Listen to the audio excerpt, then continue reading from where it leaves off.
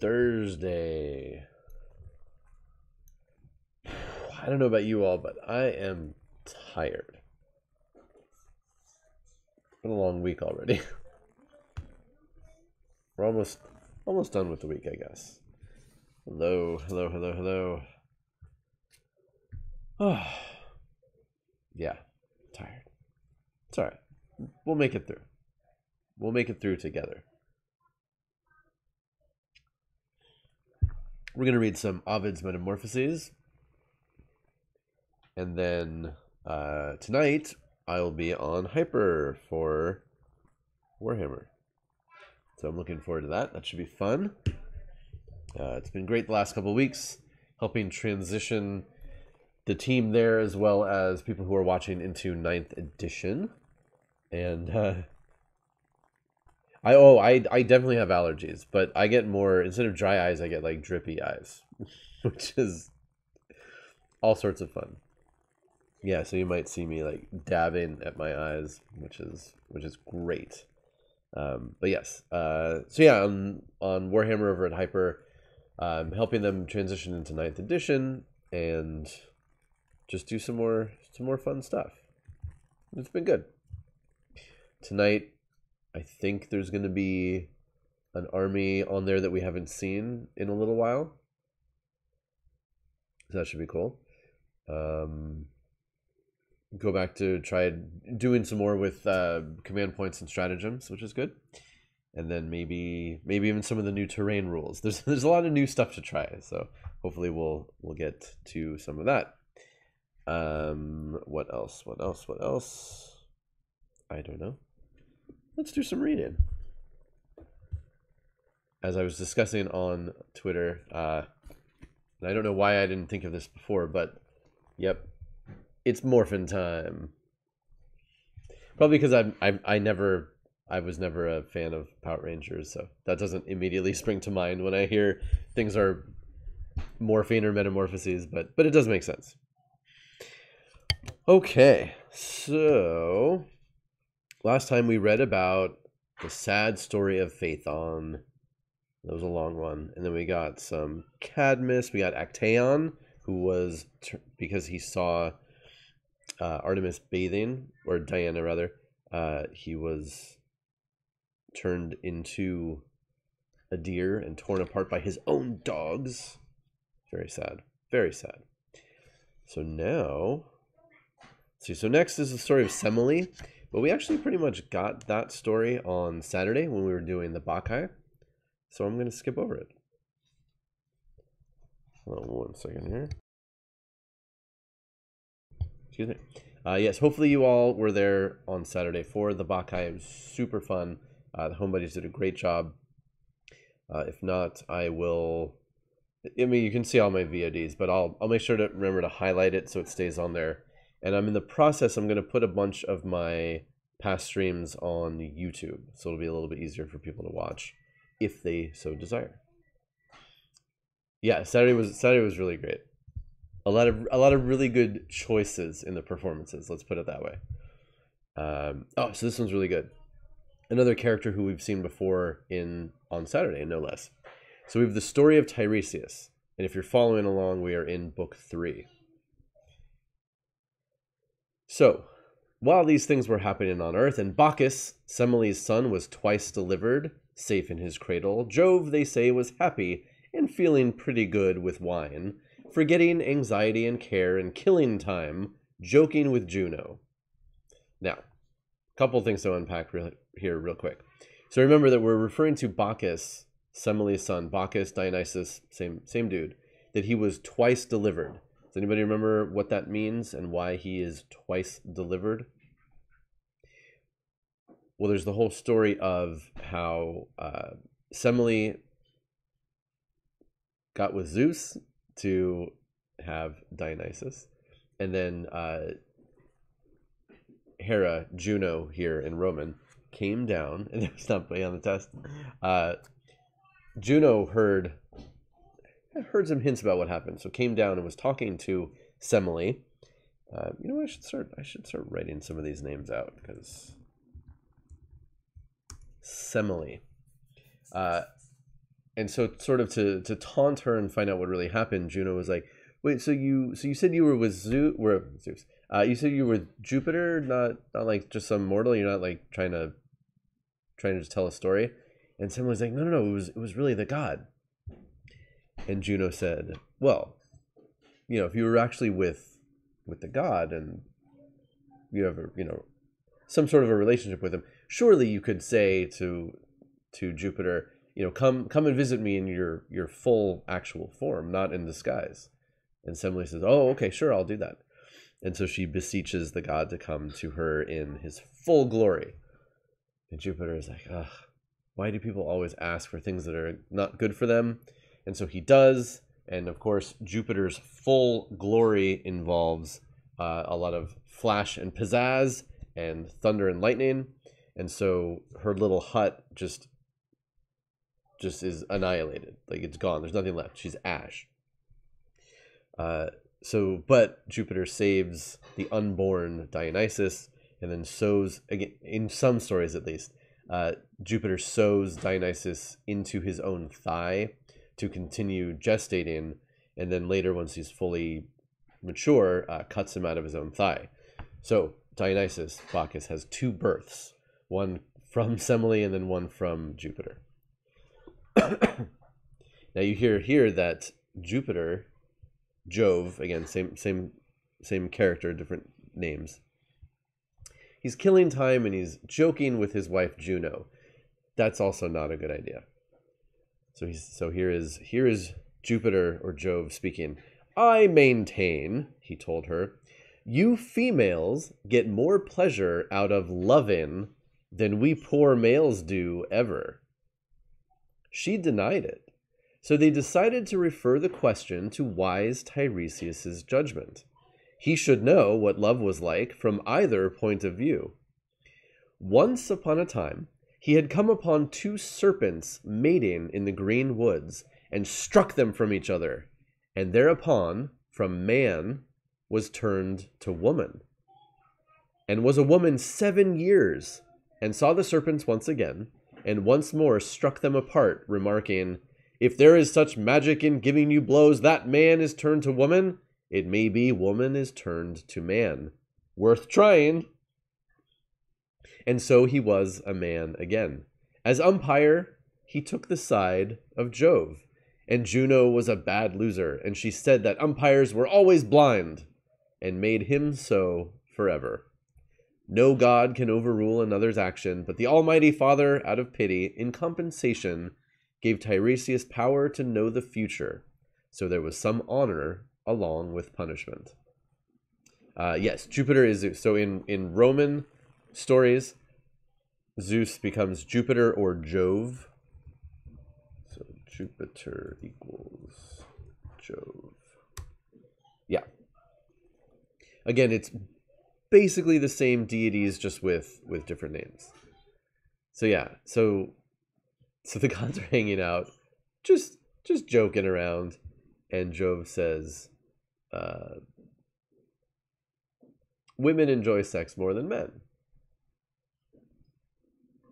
get more pleasure," and Juno denies it, and they go to ask the one person they know has they, they know can answer this for them Tiresias, who has been both man and woman and transformed back and forth, um, and apparently had sex as both. And then he sides with Jove, saying that women get more pleasure, uh, and then Juno is mad and, and makes him blind. So there you have the story of Tiresias. All right, so now we get into another very famous one the story of Echo and Narcissus. And so Tiresias, famous through all Aonian towns and cities, gave irreproachable answers to all comers who sought his guidance. One of the first who tested the truths he told was a naiad of the river Liriope, whom the river god Cephisus embraced and ravished in his watery dwelling. In time she bore a child most beautiful, even as a child, gave him the name Narcissus and asked Tiresias if the boy would ever live to a ripe old age. Tiresias answered, Yes, if he never knows himself. How silly those words seemed for how long, but as it happened, time proved them true. The way he died, the strangeness of his infatuation. Now, Narcissus was 16 years of age and could be taken either for boy or man, and boys and girls both sought his love. But in that slender stripling was pride so fierce, no boy, no girl could touch him. He was out hunting one day, driving deer into the nets, when a nymph named Echo saw him. A nymph whose way of talking was peculiar in that she could not start a conversation nor fail to answer other people talking. Up to this point, Echo still had a body. She was not merely voice. She liked to chatter, but had no power of speech except the power to answer in the words she last heard. Juno had done this. Typical, right? Juno is behind a lot of people's punishments and and odd torments. So Juno had done this. When she went out looking for Jove on top of some on top of some nymph among the mountains, Echo would stall the goddess by talking until the nymphs had fled. Sooner or later, Juno discovered this and said to Echo, The tongue that made a fool of me will shortly have shorter use. The voice will be brief hereafter. Those were not idle words. Now Echo always says the last thing she hears and nothing further. She saw Narcissus roaming through the country, saw him, and burned, and following him in secret, burning the more she followed, as when sulphur smeared on the rim of torches catches fire when other fire comes near it. Oh, how often she wanted to come near with coaxing speeches, make soft entreaties to him. But her nature sternly forbids. The one thing not forbidden is to make answers. She is more than ready for words she can give back. By chance, Narcissus lost track of his companions, started calling, Is anybody here? And, Here, said Echo. He looked around in wonderment, called louder, Come to me! Come to me, came back the answer. He looked behind him and saw no one coming. Why do you run from me? and heard his question repeated in the woods. Let's get together. There was nothing Echo would ever say more gladly. Let's get together. And to help her words, out of the wood she came, with arms all ready to fling around his neck. But he retreated. Keep your hands off, he cried, and do not touch me. I would die before I gave you a chance at me. I give you a chance at me. And that was all she ever said hereafter, spurning and hiding, ashamed in the leafy forests and lonely caverns. But still her love clings to her and increases and grows on suffering. She cannot sleep, she frets and pines, becomes all gaunt and haggard.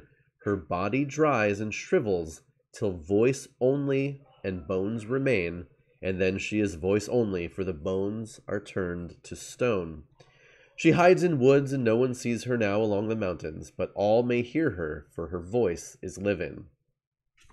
Okay, so obviously we get the story of Echo. How, why, why do we hear echoes? Where does it come from? Well, it was actually a a minor a minor goddess, a nymph, who fell in love, but then basically wasted away in her pining for Narcissus. She was not the only one on whom Narcissus had visited frustration. There were others, naiads or oreads, and young men also, till finally one rejected youth in prayer raised up his hands to heaven. May Narcissus love one day so himself, and not win over the creature whom he loves. Nemesis heard him, goddess of vengeance, and judged the plea was righteous.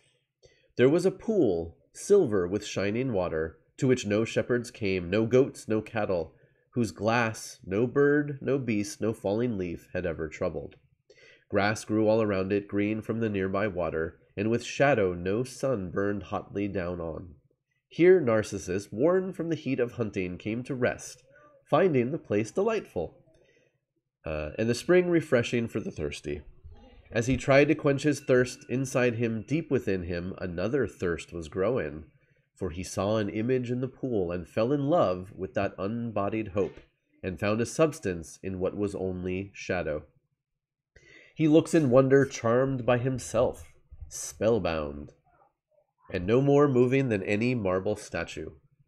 Lying prone, he sees his eyes, twin stars, and locks as comely as those of Bacchus or the god Apollo, smooth cheeks and ivory neck, and the bright, the bright beauty of countenance, and a flush of color rising in the fair whiteness.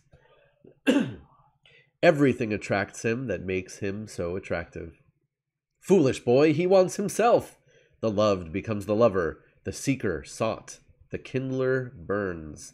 How often he tries to kiss the image in the water, dips in his arms to embrace the boy he sees there, and finds the boy himself elusive always, not knowing what he sees, but burning for it, the same delusion mocking his eyes and teasing. Why try to catch an always fleeing image, poor credulous youngster? What you seek is nowhere, and if you turn away, you will take with you the boy you love. The vision is only shadow, only reflection, lacking any substance. It comes with you, it stays with you, it goes away with you if you can go away. No thought of food, no thought of rest can make him forsake the place. Stretched on the grass in shadow, he watches, all unsatisfied, that image vain and elusive, and he almost drowns in his own watching eyes. He rises just a little, enough to lift his arms in supplication to the trees around him, crying to the forest, What love, whose love has ever been more cruel? Your wood should know. You have been given many lovers places to meet and hide in. Has there ever, through the long centuries, been anyone who has pined away as I do? He is charming. I see him, but the charm and sight escape me. I love him, and I cannot seem to find him. To make it worse, no sea, no road, no mountain, no city wall, no gate, no barrier parts us, but a thin film of water. He is eager for me to hold him. When my lips go down to kiss the pool, his rise, he reaches toward me. You would think that I could touch him. Almost nothing keeps us apart. Come out, whoever you are. Why do you tease me so? Where do you go when I am reaching for you? I am surely neither so old nor ugly as to scare you, and nymphs have been in love with me. You promise, I think, some hope with a look of more than friendship. You reach out arms when I do, and your, smi- your smile follows my smiling. I have seen your tears when I was tearful. You nod and beckon when I do. Your lips, it seems, answer when I am talking, though what you say I cannot hear.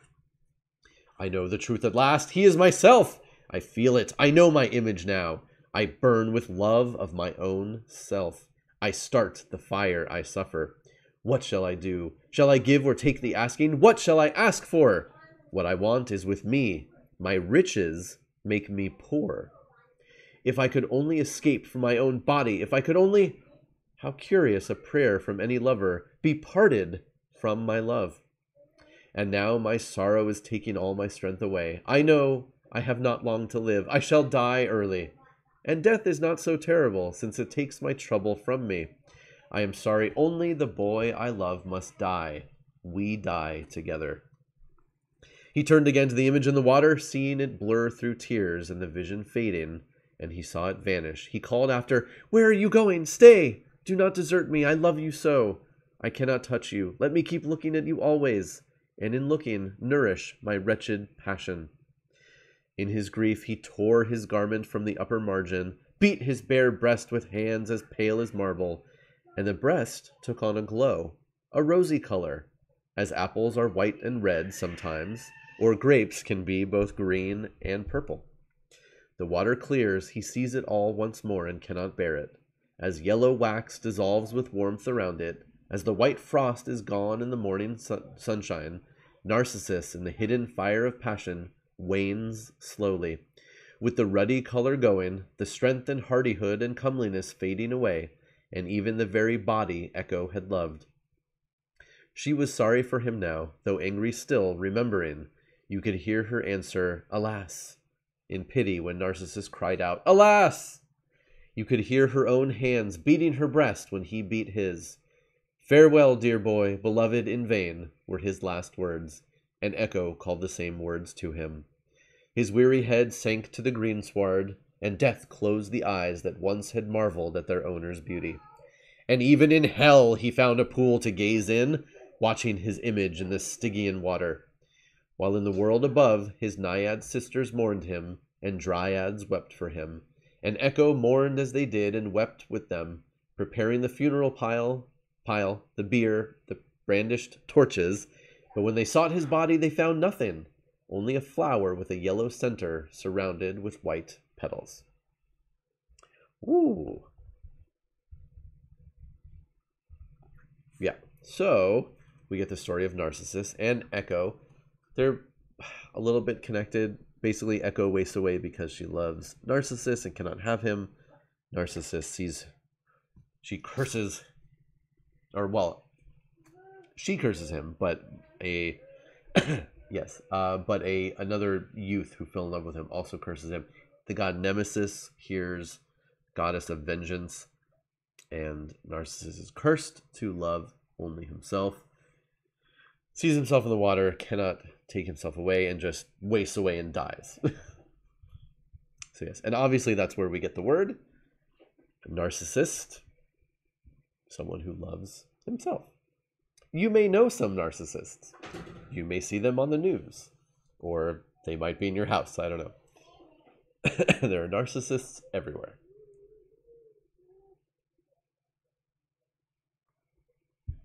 They are interesting people to deal with.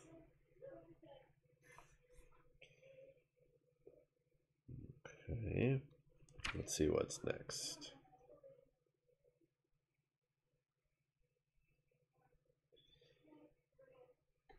I am a. So next is Pentheus and Bacchus, and I'm just looking to see if this is the same. well, Undead Saints fan, I, I didn't want to I didn't want to say it, but yes, that's what I was thinking. Um, so we're gonna I'm gonna skip over this next one. It's very long and doesn't have a lot of stuff. Okay. Basically, it's it's the story that we that we heard in the Bacchae on Saturday. Uh, it's just another version of it, of Bacchus of Agave tearing apart Pentheus. Basically, same thing. Uh, yeah, every politician ever. that that's a good point too. Okay, so moving into book four Let's see. Ooh, okay, this is good. Okay, so there's a little intro. Um,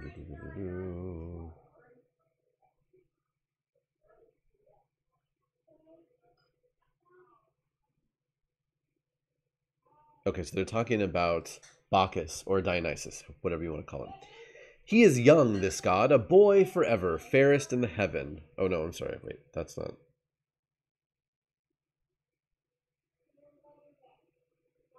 Yeah, okay. Uh, fairest in the heaven, virginal, when he comes before the people with the horns laid off his forehead.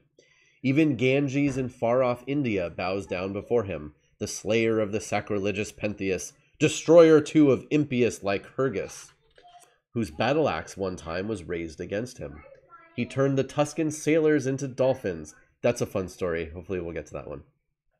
The lynxes draw his car with bright reins harnessed. Satyrs, bacchantes, follow, and Silenus, the wobbling old drunkard, totters after, either on foot, with a stick to help him hobble, as shaky on three legs as two, or bouncing out of the saddle on his wretched burro. Wherever Bacchus goes, the cries of women hail him and young men's joyful shouts and drum and timbrels sound, and cymbals clash and flutes pipe shrill. So we're talking about Bacchus, and then we're going to get into a bunch of stories. Lighten our task by telling us stories. Uh, which to begin with, about Dercetus maybe, a girl turned into a fish, all covered with scales, swimming in a pool near Babylon, or her daughter, a pure white pigeon, who lived out her days on the high towers. And then there was the story about a naiad who, by charms and simples, turned small boys into fishes and became a fish herself, or how the mulberry tree changed the fruit's color from white to the deep crimson from the stain of blood. This story seemed the best one, not being known too well, and so she told it.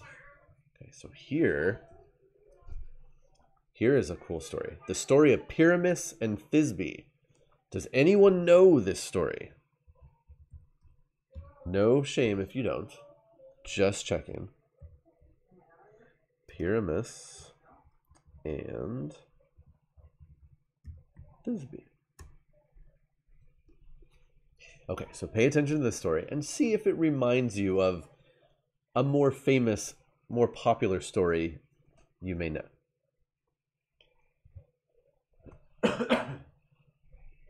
Next door to each other, in the brick walled city built by Semiramis, lived a boy and a girl. Pyramus, a most handsome fellow, Thisbe, loveliest of all those ancient, uh, of all those eastern girls. Their nearness made them acquainted, and love grew in time, so that they would have married. But their parents forbade it. But their parents could not keep them from being in love. Their nods and gestures showed it. You know how fire suppressed burns all the fiercer. There was a chink in the wall between the houses, a flaw the careless builder had never noticed, nor anyone else. For many years detected, but the lovers found it. Love is a finder always. Used it to talk through, and the loving whispers went back and forth in safety. They would stand one on each side, listening for each other, happy if each could hear the other's breathing, and when they would scold the wall, You envious barrier, why get in our way? Would it be too much to ask you to open wide for an embrace, or even permit us room to kiss in? Still, we are grateful. We owe you something, we admit. At least you let us talk together.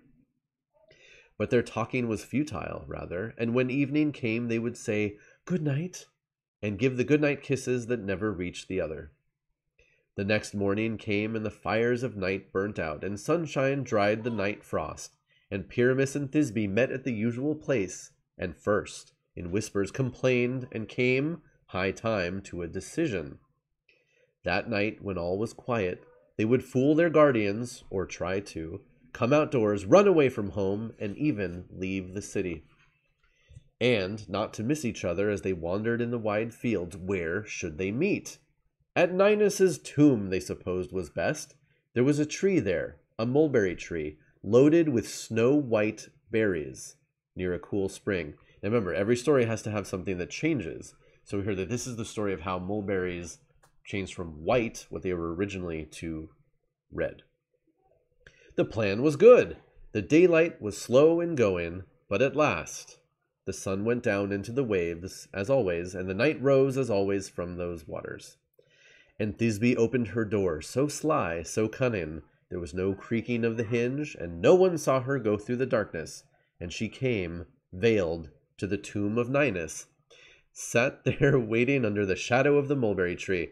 Welcome, telephone. This is Thematic Thursday, and on our Mondays and Thursdays these days we are reading Ovid's Metamorphoses, Roman mythology with a bunch of cool stories. And We are reading the story of Pyramus and Thisbe. Uh, so yes, so she gets there to the tomb and is waiting under the mulberry tree. You're welcome to listen or chat or come back another day when I'm doing something that's more interesting to you specifically. It's all good. Love made her bold, but suddenly here came something. A lioness, her jaws a crimson froth with the blood of cows. Fresh slain, came there for water. And far off through the moonlight, Thisbe saw her and ran, all scared, to hide herself in a cave, and dropped her veil as she ran. The lioness, having quenched her thirst, came back to the woods, and saw the girl's light veil, and mangled it and mouthed it with bloody jaws. Pyramus, coming there too late, saw tracks in the dust, turned pale and paler, seeing the bloody veil. One night, he cried, will kill two lovers, and one of them most surely deserved a longer life. It is my fault. I am the murderer, poor girl. I told you to come here in the night to all this terror, and was not here before you to protect you. Come, tear my flesh, devour my guilty body. Come, lions, all of you, whose lairs lie hidden under this rock. I am acting like a coward, praying for death.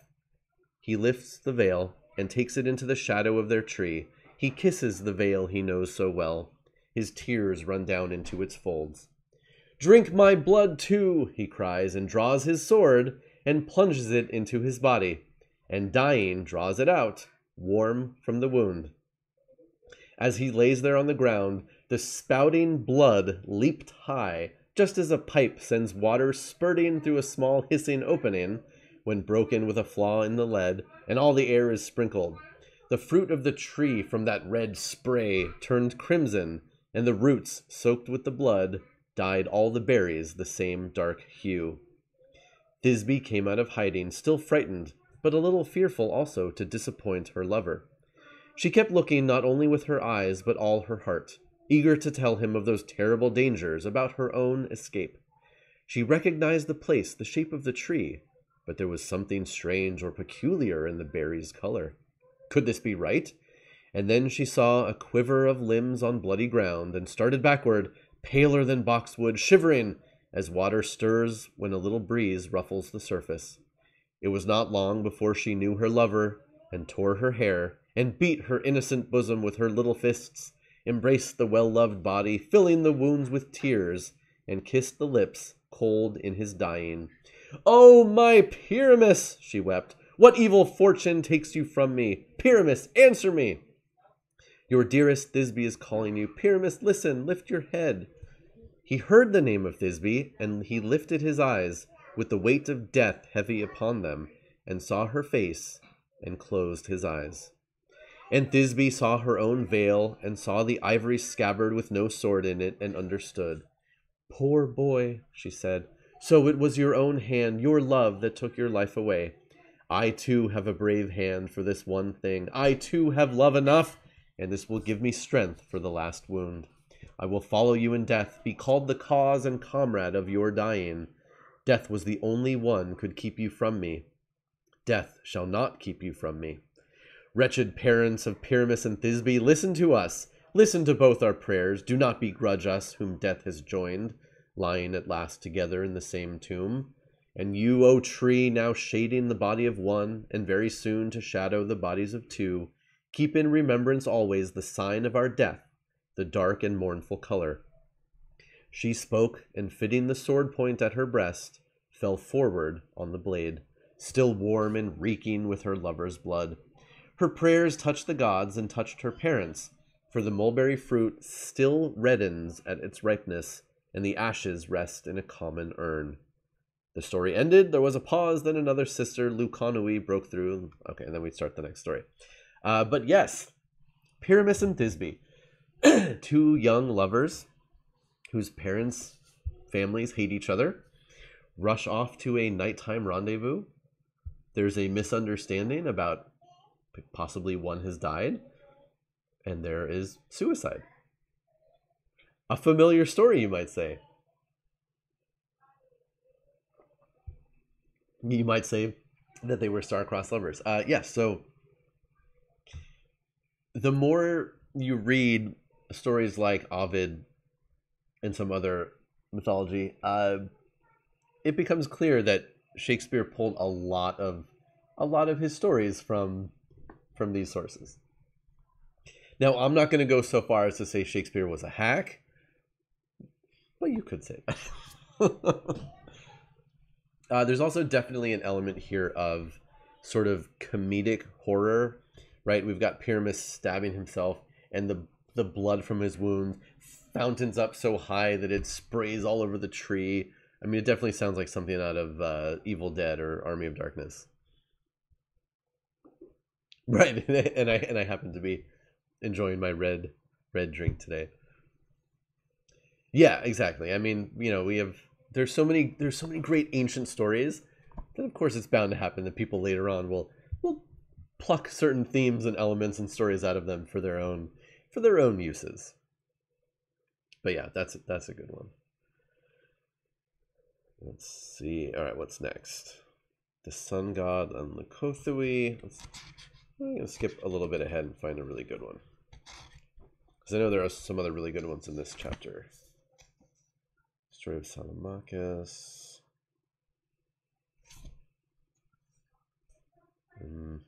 -hmm. This one's kind of interesting. Okay. There is nothing new under the sun, absolutely. and Shakespeare should know since he stole some of his ideas from older stories. Uh, okay, the story of Salmacis. Let me write that. Like I said, I'll try to get better about actually writing out some of these names. You are going to hear the story of a fountain, Salmacis, with an evil reputation because its waters make men weak and feeble whoever goes bathing there. The cause is hidden, the fountain's enervating power well known. A boy, the son of Mercury and Cythera's goddess, that would be Venus, Aphrodite. Oh, have fun with your RPG session. I will see you later. okay, bye. Uh, Cythera's goddess, yeah, that's that's Aphrodite in Greek or Venus here. Uh, a son of Mercury and Cythera's goddess was nurtured by the naiads in their caverns. You could recognize his father and his mother both in his handsome looks, and he took his name from both of them, Hermes and Aphrodite, which again, it's interchangeable. So Hermes and Aphrodite, hence you can see he was called Hermaphroditus. Right? So we get Hermes plus Aphrodite, and you may be able to guess where the story is going.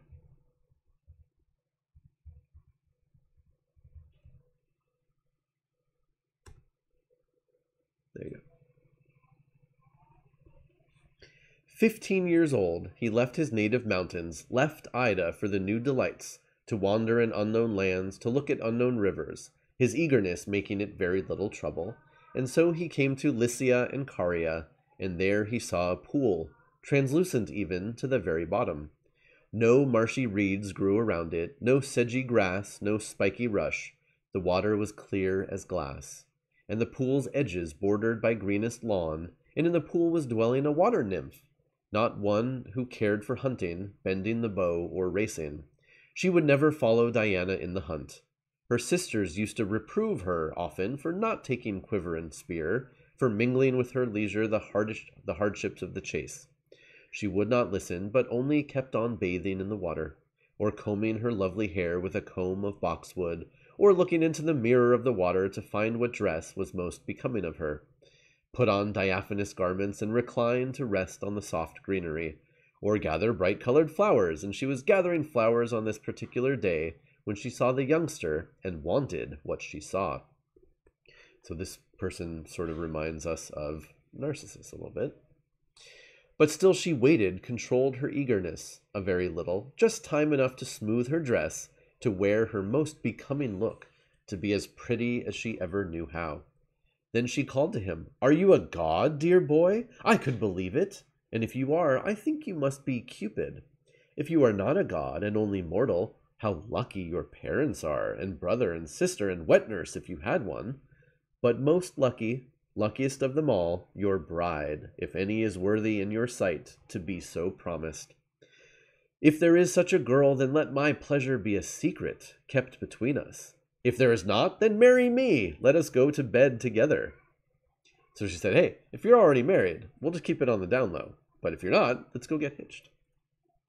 That was all she said, but the youngster started blushing out of ignorance of love. But blushing was most becoming. Apples have such color in the sunny orchards, or ivory when tinted, or the moon eclipsed, the red below the white, when the bronze vessels of the superstitious clang loud to bring her back to life a lot of imagery packed into there. We won't get into all that. The naiad kept pleading, begging for a kiss, at least the one kind, the kind one gives a sister. Just kiss me like your sister, sure. She was ready to throw her arms about his snowy neck. Stop it, he cried. Will you stop it? I am leaving this place, and you? Salmacis, trembling, answered, I leave the place to you then, and pretended to go away, but looked back often, found bushes to hide in, and remained there watching. And the boy, as if no one were looking at him, strolled over the grass, went wading in the water, and quickly, captivated by the coolness, flung off his clothes. Desire of the naked body held her spellbound. Her eyes were bright and burning as the sun glass shines. She can hardly bear the waiting, hardly postpone her pleasure, mad to hold him, amorous, eager. He slaps his body, plunges into the pool, goes flailing through the water, a white and gleaming figure, a lily flower, or ivy, translucent glass around him. He's having fun, he's jumping around.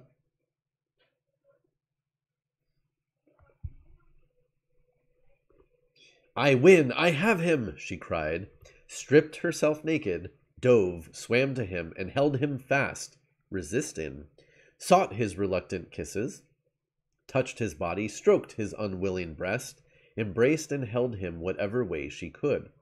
He fought and struggled, but she wrapped herself around him, as a serpent caught by an eagle borne aloft entangles coils around head and talons, or as ivy winds round great oaks, or an octopus extends it its prey extends its prey within its tentacles. he refused her the joy she wanted most, but still she held him body to body. He would not escape her, fight as he may. Oh, grant me this, she cried in prayer to the gods. May no day ever come to separate us. And they heard her prayer, and the two bodies seemed to merge together. One face, one form. As when a twig is grafted on parent stock, both knit, mature together, so these two joined in close embrace, no longer two beings, and yet no longer man and woman, but neither, and yet both. Hermaphroditus saw that the water had made him half a man, with limbs all softness. He held out his arms, lifted a voice whose tone was almost treble, pleading, O father and mother, grant me this. May every one hereafter who comes diving into this pool emerge half man, made weaker by the touch of this evil water. It was granted that prayer, and ever since that day the waters hold that contamination. So, clearly, we got a few things going on here. Um, but obviously, this is a justification for people who are either, and again, looking at, looking back at ancient people, it's hard to know exactly what they're talking about, but either who are intersex in some way, have sexual characteristics of both male and female, or some sort of transgender on the, on uh, on a spectrum there. So basically, how do you have people like that through the through the views of ancient science through the eyes of ancient culture well clearly it has something to do with the gods and the gods were involved in creating this this creature this place that would that would cause such a thing to happen um, and again that's sort of all of these myths are come down to what we could call the, the beginnings of science, right? Trying to explain things that are in the world around us. And it's obviously this is where we get the term hermaphrodite, which is not really a term that's used all that much in for humans at least. Um, sorry, children running around. Hello. Oh. Uh, yeah, so that's an interesting story. Next, we will jump to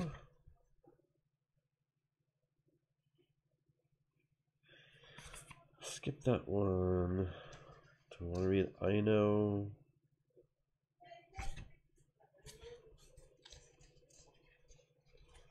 Some underworld stuff.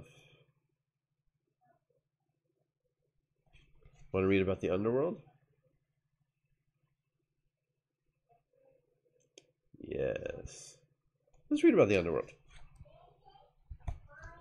So overall, this is the story of Athamas and Ino. Excuse me. Athamas. And I know. Okay. Now Bacchus was recognized through Thebes, a mighty godhead, and everywhere Ino, his mother's sister, proclaimed his power. She of all the sisters escaped from suffering, except for grieving over the rest of them.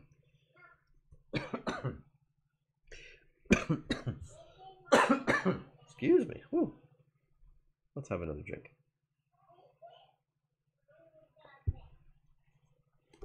Much better.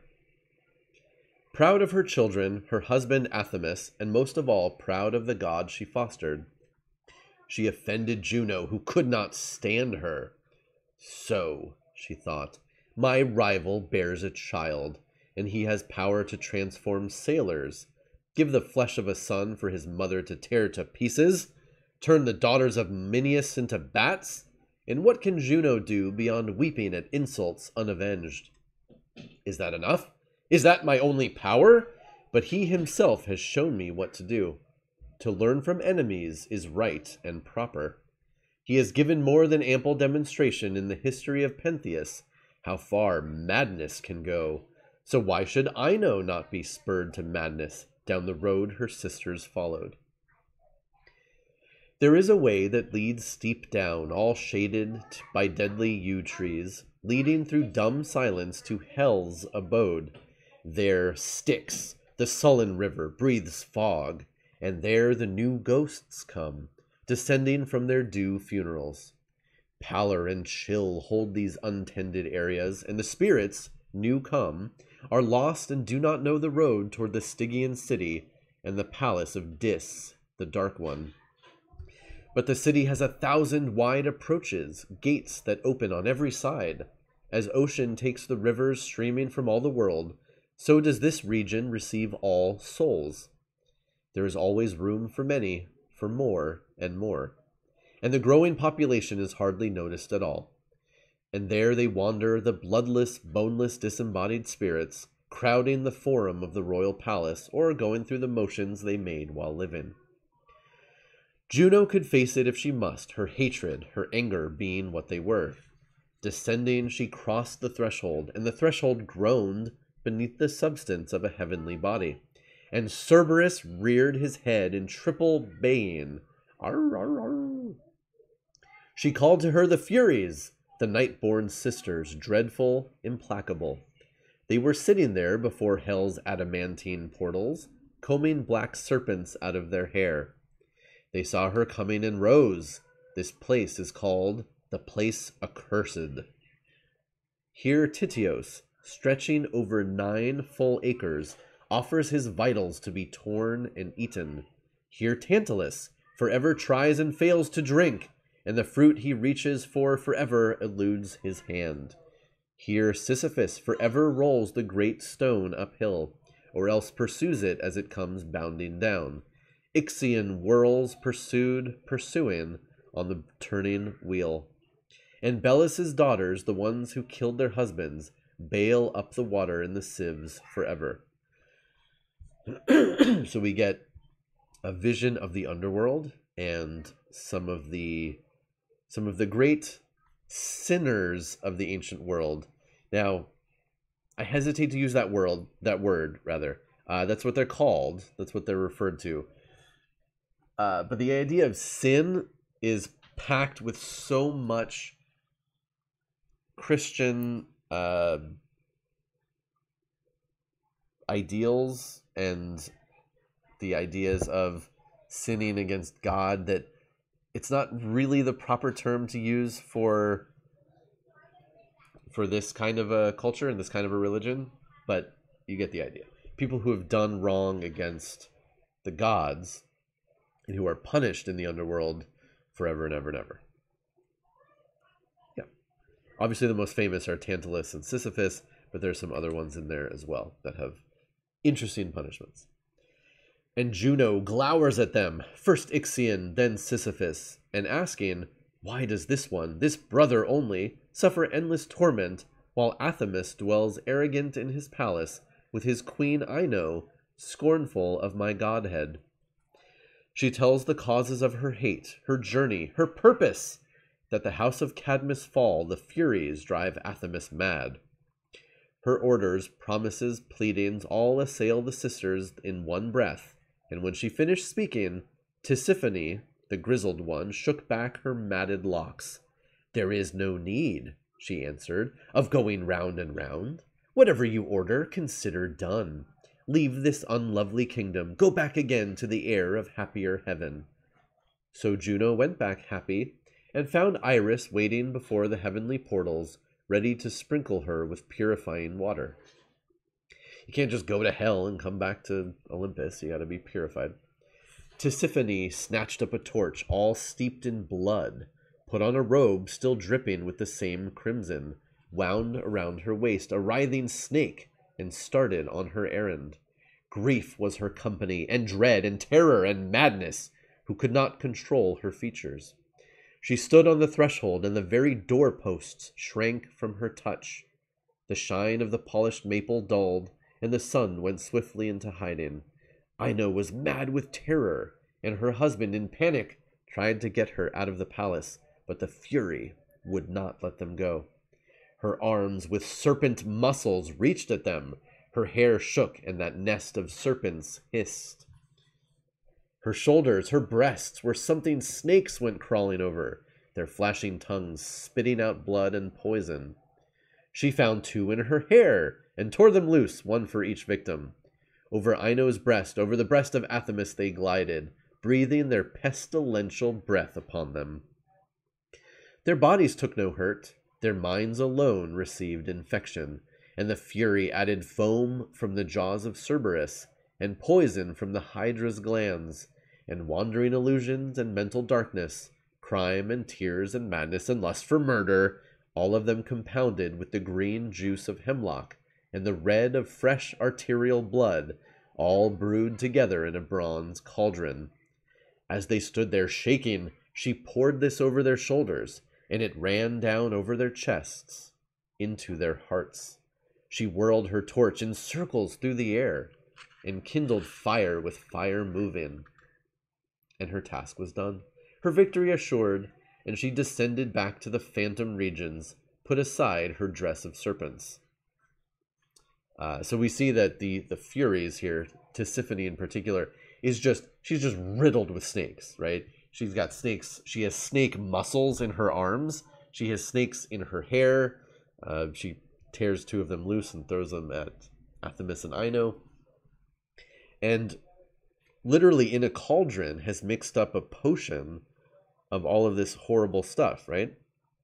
There's the poison of snakes, foam from the jaws of Cerberus, also poison from the Hydra's glands, and illusion and all this other stuff that's pumped in there, plus hemlock, which, as we know, is poison, uh, and blood, and it's all mixed up, and she pours it over them, and it makes them crazy.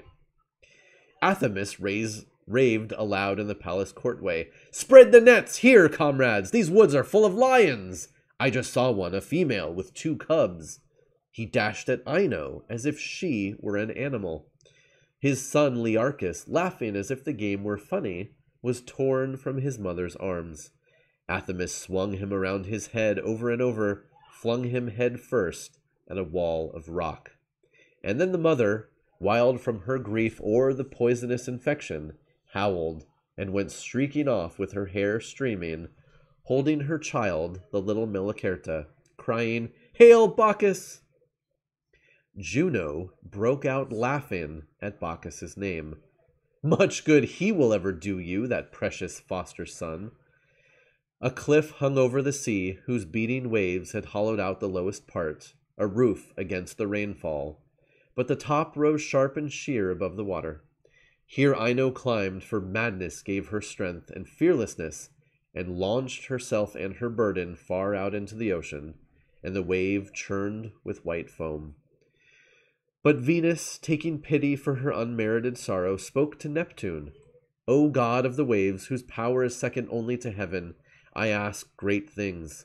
Have pity on them, these folk of mine, plunged in the vast Ionian, and add them to your gods. Something is due me, some favor from the ocean depths I sprang from, a foam born goddess.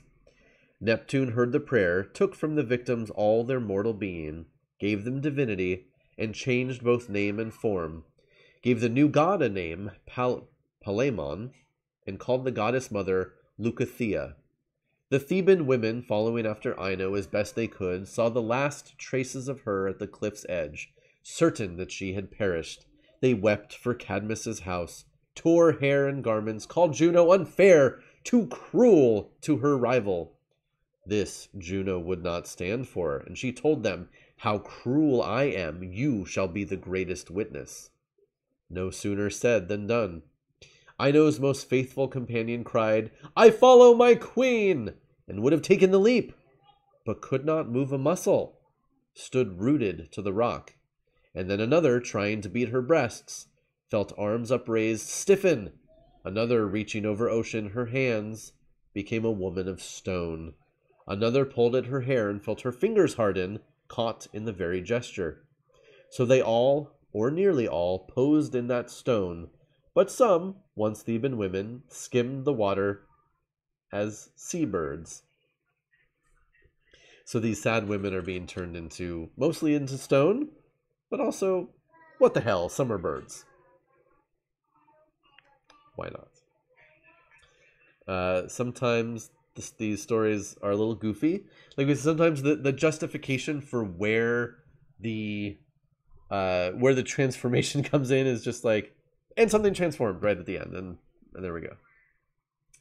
Uh, but yeah, so obviously we see the Juno, not a nice lady. Is it deserved? Is she justified because her husband is constantly cheating on her? Well, that's that's an argument you could make. But Juno definitely uh, lives for the punishments that she can mete out the horrific things that she does to the people who have loved uh, Jupiter or their families or their children or anything else. All of these, all of these kind of things. Yeah. Uh, we get the end of Cadmus, who we talked about gets turned into a snake. Uh, we talked, we heard about that in the Bacchae. Let's see. So then we get the story of Perseus. Let's see, which is a lot. There's a lot going on there. We get some more stuff about the constellations.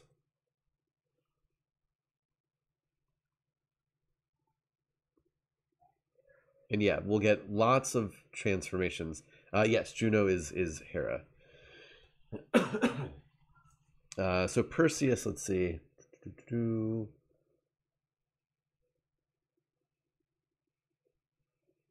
Uh, Perseus bringing back the wondrous trophy of the snake haired monster through thin air was cleaving his way on whirring wings. As he flew over the Libyan sands, drops from the Gorgon's head fell bloody on the ground, and earth received them, turning them into vipers. For this reason, Libya today is full of deadly serpents. So, again, just uh, like all of these little tiny notes. And why is the desert of Libya filled with snakes? Well, it's because Perseus, flying back to Greece, flew over, holding Medusa's head. Blood dripped out, and the blood hitting the ground turned into snakes. Sure. Why not? Um, let's see. Yeah, so he flies. He's flying over the sky. He sees all the constellations. He, like, Phaethon is afraid of them, but he makes it through. Uh, he goes to we goes to see Atlas.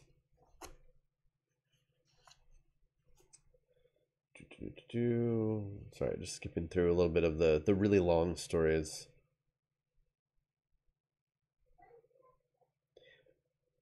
Okay, so actually this is kind of cool. So he talks to Atlas.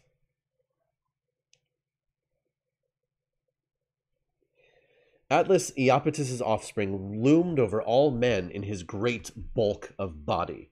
He ruled this land and the sea whose waters take the sun's tired horses and the weary wheels at the longs at the long day's end. He had a thousand herds, no neighbors, and he had a tree all shining with gold, whose golden leaves hid golden branches, whose golden branches hung with golden apples.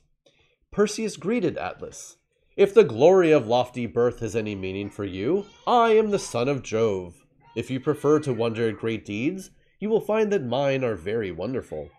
I ask for rest, for friendly shelter. But Atlas, doubtful, thought of an ancient oracle of Themis. Atlas, the time will come when your tree loses its gold, and the marauder is Jove's son. Mm. Fearful of this, Atlas has had walled his orchard, given its keeping to a monstrous dragon, and kept all strangers off. He answered Perseus, Get out of here, you liar! Neither Jove nor glory gets you entrance here. He added a lusty shove, though Perseus resisted, argued, and tried appeasement.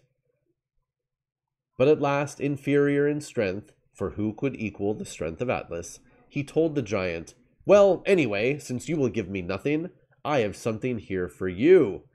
He turned his back, held up with his left hand behind his body Medusa's terrible head, and, big as he was, Atlas was all at once a mountain. Beard and hair were forests, and his arms and shoulders were mountain ridges, and what had been his head was the peak of the mountain, and his bones were boulders. But still he grew, for so the gods had willed it, and his great bulk upheld the starry heaven. So Atlas, who we know as uh, from from Greek stories before this, but also from the Roman stories, right? He's holding up he's holding up the sky. That's his deal. He's punished for siding with the Titans against the Olympian gods. That's his punishment. Uh, we had heard that Heracles had visited there as part of his labors, took over the holding so that Atlas could fetch a couple of the apples for him, uh, and then didn't want to take the sky back from Heracles and said, "No, no, you, you hold on to it." And Heracles, Heracles, not the smartest fellow, but smarter than Atlas, and that should tell you something. Devised a plot and said, "Oh, okay, you got me. I'll hold up the sky for for you forever, but just take it back for a second so I could fix my lion skin into like a cushion for my shoulder." And Atlas says, "Okay." Took it back, and Heracles says, "Ha ha! I'm not taking it back again." So, uh, but yes, he finally he meets his fate when he is visited by Perseus. Uh, Atlas scorns Perseus for good reason because he's had an, an oracle that tells him that it's not going to end well, and then Perseus is like basically "f you," uh, takes out Medusa's head and turns Atlas to stone. Atlas becomes a giant mountain that there that thereupon holds up the sky on top of the mountain. Makes sense. Uh yeah. So we're in let's see. So we're in the middle of book 4. Got a little bit more Perseus and then Perseus will pick up in book 5. A lot of interesting Perseus stories and again they branch out into other transformations. We're going to get some stuff about the muses.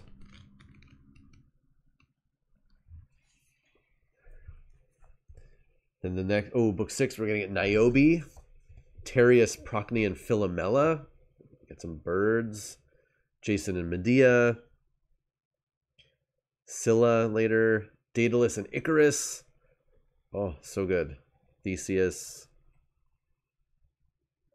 Deianira. Heracles. Lots of, well, Hercules here. Lots of Hercules stories. Iphis and Ianthe. Orpheus and Eurydice. Oh, so many good stories in this. Pygmalion, Adonis, Atalanta. Yeah. So Hercules is the bottle. Yeah, Hercules not not the not the nicest guy. I mean, he had bad things happen to him. Another another victim of Hera and Juno. But uh cool. Yeah, thanks Undead Saints fan. I'm glad you're enjoying the stories. And anyone else who's out there listening, who might be lurking, hopefully you're enjoying these. Um, we'll do we'll do a few more days of Ovid. I'll try to not have it take too long, and then I don't know. We'll move on to something else. Uh, what else is happening? So yes, like I said, I will be on tonight. Hey, Fader. I'll be on tonight on Hyper with Warhammer. So that is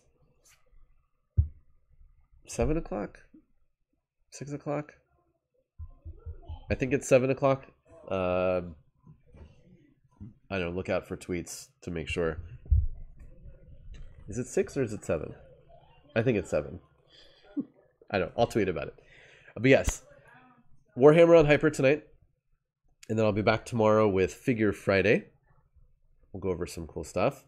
Um, doing something with my family right after the show tomorrow, so it'll be a hard out, and then I'll tell people about what we do after that. Tomorrow, remember, tomorrow night is the big launch of all of our Halloween and horror soaps, my wife's soap company. We've been previewing things all week. There's still more that are coming. There's a preview that I think is going out right now, this morning. Another preview tonight, another preview tomorrow morning. But all of the all of the stuff will be available tomorrow night some really cool stuff. Um, and then we'll have Saturday will be Homebuddies stream. I believe we're doing pretty sure that it's going to be Andy's stream, and he's going to be talking about fighting games and sort of the the history of fighting games, his his history with fighting games, and how they've influenced him, stuff that he's played over the years. It sounds fascinating. I'm I'm super interested in that. Um, yeah, I think that's I think that's all I have to say today. So again, thank you for joining me. I I love reading these stories. If you ever have any questions or thoughts or anything else, by all means, let me know. Twitter is the easiest way to get a hold of me usually. Thank you for the follow, Just Vic. Coming in right at the end.